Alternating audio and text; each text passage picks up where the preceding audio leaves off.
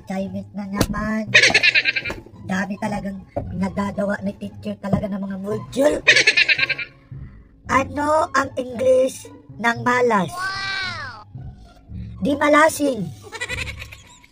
Hirap talaga mag-English. Di malasing.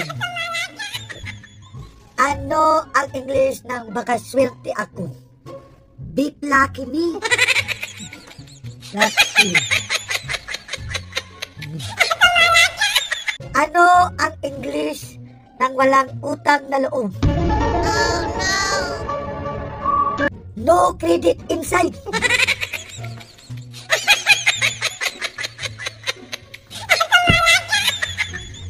ano ang English ng maswerte ako mama?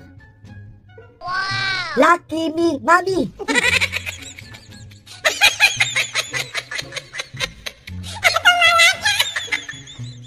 ano ang English ng swerte ako sa lalaki? Wow! Lucky me with egg.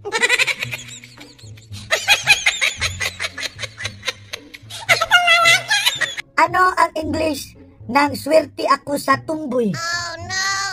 Lucky me with no egg.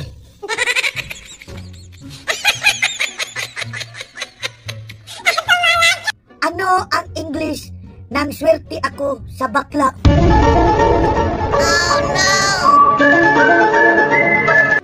Lucky me with scrambled egg. I Yesterday you told me about the blue, blue sky And all that I can see Is just a yellow lemon tree